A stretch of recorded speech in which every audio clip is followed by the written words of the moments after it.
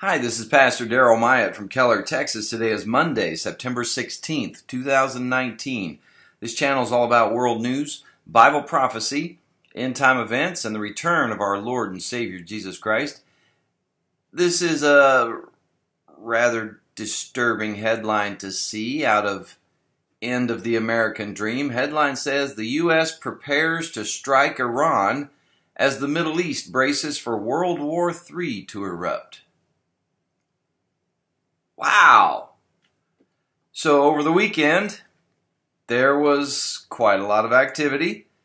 President Trump is using this phrase locked and loaded to describe our current stance toward Iran. Locked and loaded. That's referring to a gun having ammo in it, one in the chamber, ready to fire. Um, looks like some kind of U.S. military action could be imminent. Now, please don't misunderstand. I'm not hoping for war or pumping for war or promoting war. I'm not some kind of warmonger. Just telling you what's going on. The Bible speaks of war and rumors of wars and all kinds of things happening toward the end of man's reign on earth prior to the return of Christ. Um, I don't know if you've seen all that's been happening over the weekend, but there was an attack on Saudi oil production facilities. It was the worst one ever in history. And it seems pretty unlikely that the United States and Saudi Arabia are going to allow this to pass without some kind of response. Um, Trump saying we're locked and loaded waiting to hear from the kingdom as to who they believe was the cause of this attack and under what terms we would proceed. Wow. Out of Yahoo, drone attack on Saudi oil fields seen as realizing worst fears. this drone strike that happened Saturday in the heart of Saudi Arabia's oil production facilities was the realization of their worst fears. We've already seen oil prices skyrocketing since this happened. Um, uh, here's an, another headline saying attack on Saudi oil field a game changer in Gulf confrontation. It's a game changer. The attack on the world's largest oil processing plant early Saturday morning is a dramatic escalation in the confrontation between Iran and Saudi Arabia. Largest ever attack on Saudi Arabian oil. You know, I can't help but think of what it speaks of in Revelation in regard to the times of the end. Um, in Revelation 15, uh, starting in verse 1, where he said, I saw another sign in heaven, great and marvelous, seven angels having the seven last plagues, for in them is filled up with the wrath of God. And I saw, as it were, a sea of glass mingled with fire, and them that had gotten the victory over the beast, and over his image, and over his mark, and over the number of his name, stand on the sea of glass, having the harps of God. You know, I've all, always wondered what might happen if a nuclear bomb were dropped in an area that had oil and sand and water, would it not become a sea of glass? Just curious. Um, out of the Jerusalem Post, Iranian media says attacks on Saudi Arabia means the world needs Iran's oil. Iran's press TV came out and said, hey, guess what? with uh, Saudi Arabia's oil not being functioning properly, now the world needs our oil. Hmm. Seems like they may have thought that one out a little too much. Willing to bet the blame goes on Iran. It was one of their drones I'm reading in other places.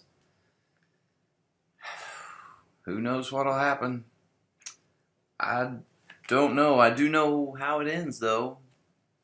God wins, the devil's defeated, Christ reigns for a thousand years. We're watching the other things come into play, though. Out of Israel Hayom, Netanyahu approves new Jordan Valley settlement. says U.S. peace plan is imminent. Today's the 16th. Tomorrow, is it tomorrow? Is the Israeli elections. 17th, right?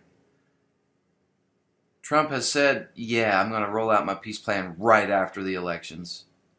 Could be this week we see this peace plan. We, I've already seen uh, where someone has kind of rolled out a map showing what Trump is going to do, what his peace plan looks like.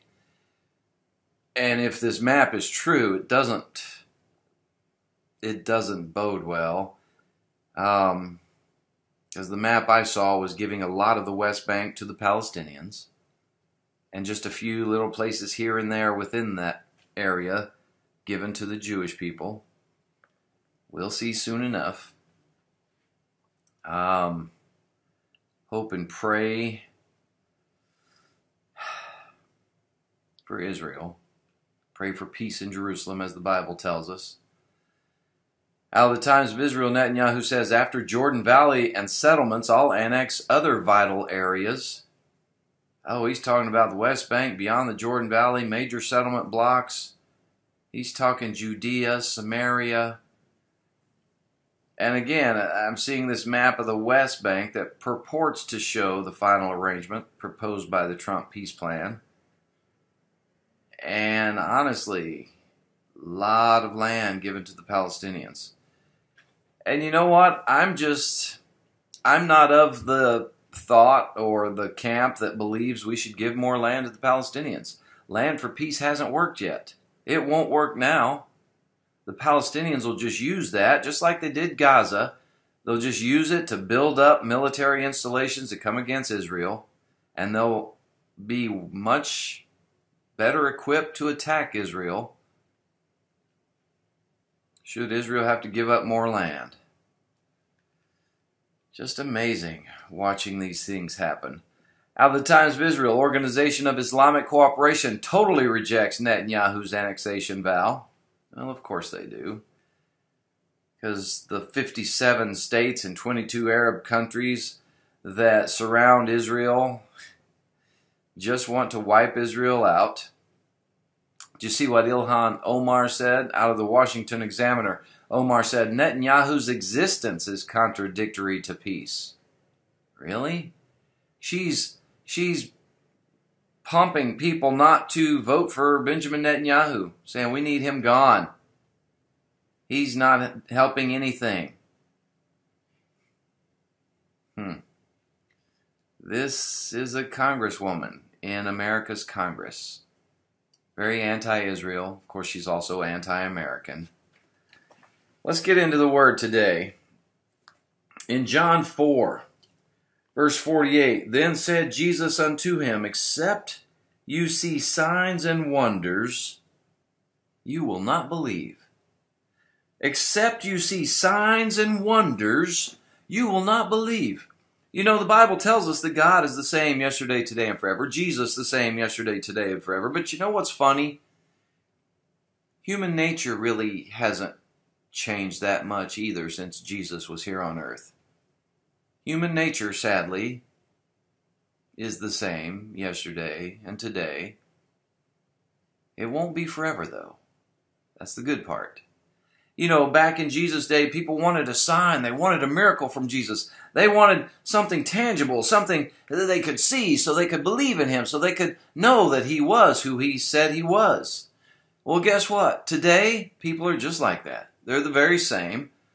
People say, Oh, I would believe in Jesus if only he'd show himself physically, if only he would make himself known to me, if only he would speak to me, if only he would come through miraculously somehow in their lives and show that yes, he indeed is real and can be trusted. Hmm. It's easy to have faith in something you can see or hear or touch. That's easy. Hebrews 11:6 tells us without faith it's impossible to please God.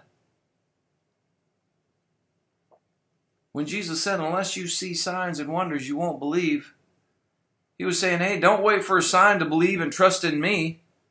Don't wait for some kind of miracle from heaven. Don't demand that I perform for you in order for you to believe in me. It's not how it works. It's called faith. Have faith. You might be struggling to trust in Jesus Christ in your life today. But I want you to know that even though I don't know what you're going through, I don't know what mountains you're facing, I want to challenge you to trust Jesus. Even if you can't see him in your circumstances right now, even if you can't hear him answering your prayers, even if you can't feel him in your life, you know, Jesus had no confidence in the kind of faith that demands sight. Faith that demands sight is not real faith, it's just doubt expecting evidence, right? it's doubt expecting evidence.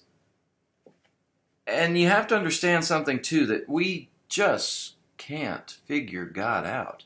The Bible tells us his thoughts and ways are so far and above us that we can't possibly understand. There will be times when you won't be able to see in the dark. There will be times when you have to just clinging, keep clinging, seeking after him, bringing your heart to God by faith. Maybe this is the kind of time in your life right now. And I understand it's it's hard, I know.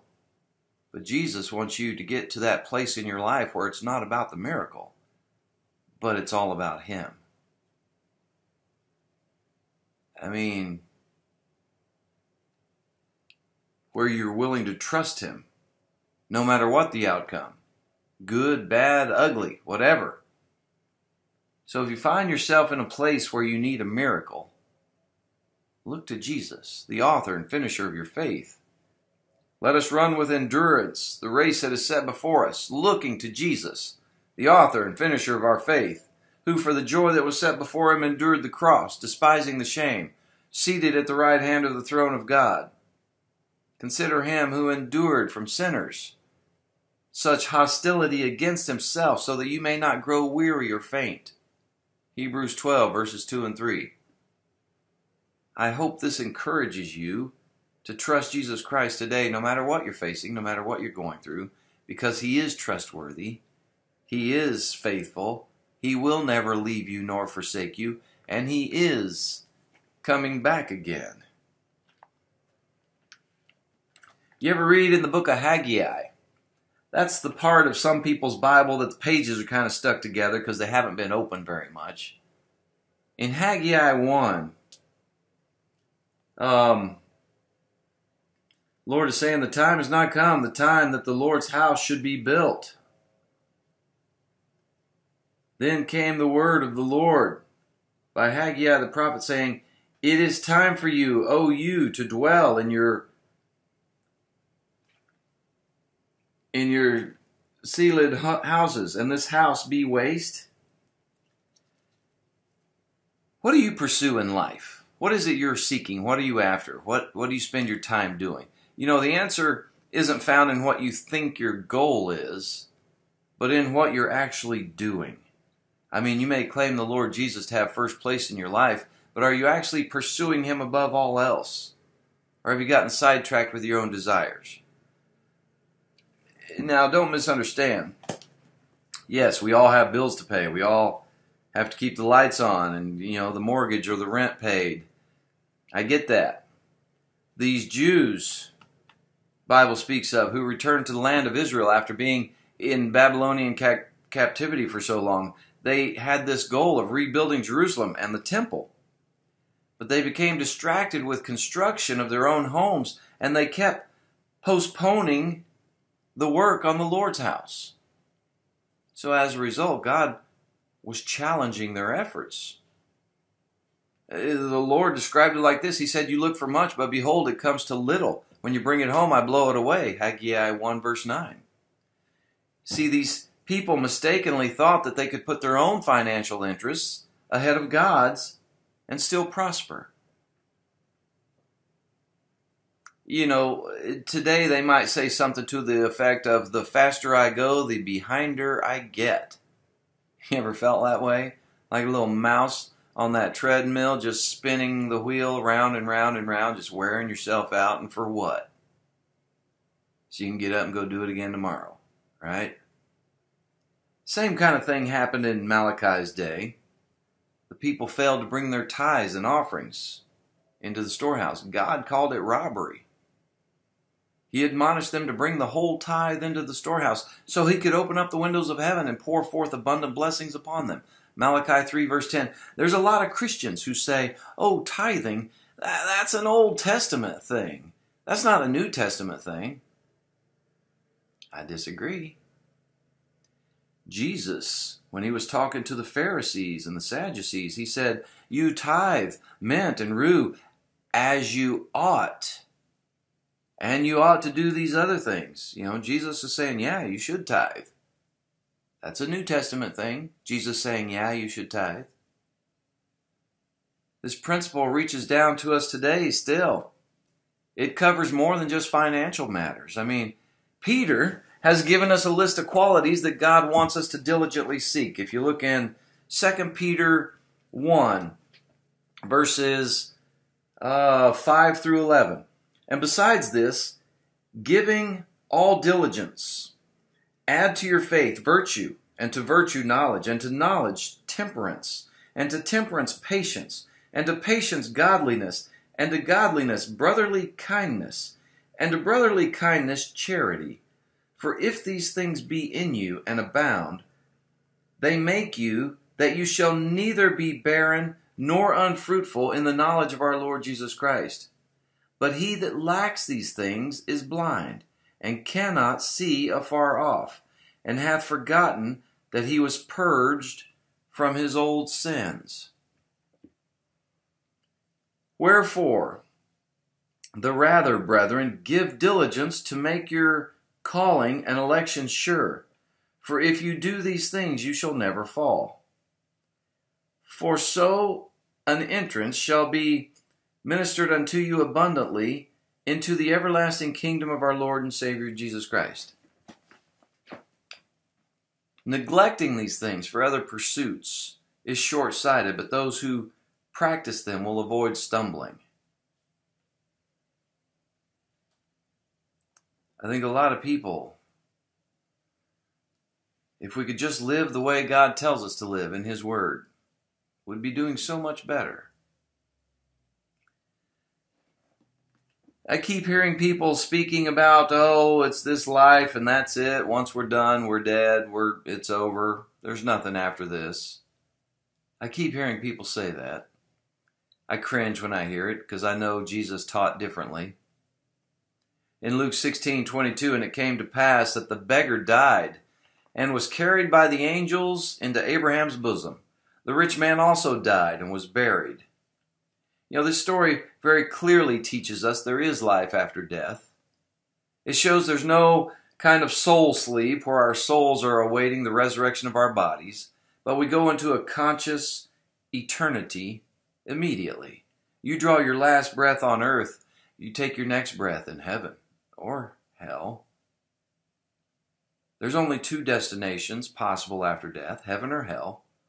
You either go to a place of torment for the wicked or a place of blessing for the righteous. There's no limbo, there's no purgatory, there's no second chance. It's final. Our eternal destiny, once we die, it's final. Abraham's bosom is a symbolic term designating a place of comfort for the righteous dead in the heart of the earth, you know, the same region as hell where the ungodly go.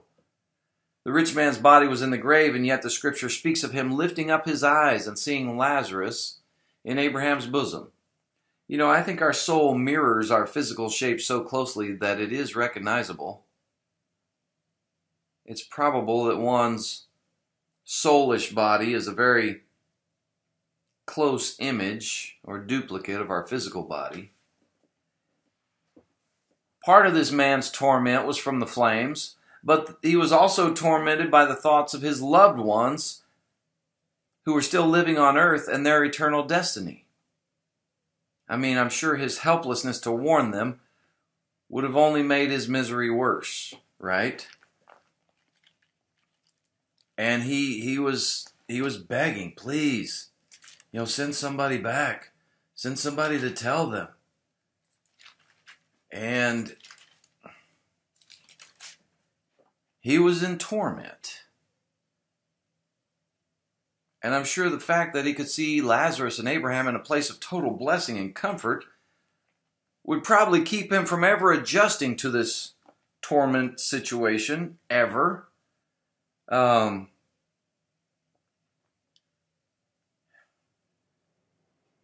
so here he was. Lifted up his eyes, he saw Abraham. Abraham said, said, Son, remember that thou in thy lifetime received thy good things and likewise Lazarus evil things. But now he is comforted, and thou art tormented. Talked about this great gulf between them, this great chasm. Then he said, uh, Send, send someone to my father's house. For I have five brethren, that he may testify unto them, lest they also come to this place of torment. Abraham said unto him, They have Moses and the prophets. Let them hear them. And he said, No, Father Abraham, but if one went unto them from the dead, they will repent. Isn't that interesting? And he said unto them, If they hear not Moses and the prophets, neither will they be persuaded though one rise from the dead. Isn't that funny? Because that's exactly what Jesus did. He did rise from the dead, and he told them to repent. He told them that he's the only way to God the Father. And yet people deny it and reject it anyway. Even though someone did rise from the dead and tell them. Jesus knew. He said, hey, even if someone rises from the dead, they still won't repent. These are the very words of Jesus Christ. Hell's going to be much more than a place of physical torment. It'll be mental torment as well. Those who are consigned to this place will also be in torment with the thoughts of what they could have been if only they would have trusted Jesus. How would my life have been different if I would have trusted Jesus from the beginning? I think the greatest witness anyone could ever receive is the witness from God's Word. The gospel is the power of God unto salvation. So that's why we need to share the Word today. That's why we need to proclaim the good news of the gospel of Jesus Christ so much more so with the times we're living in. So, people, be a diligent and faithful servant and let somebody know about the only one who can save them.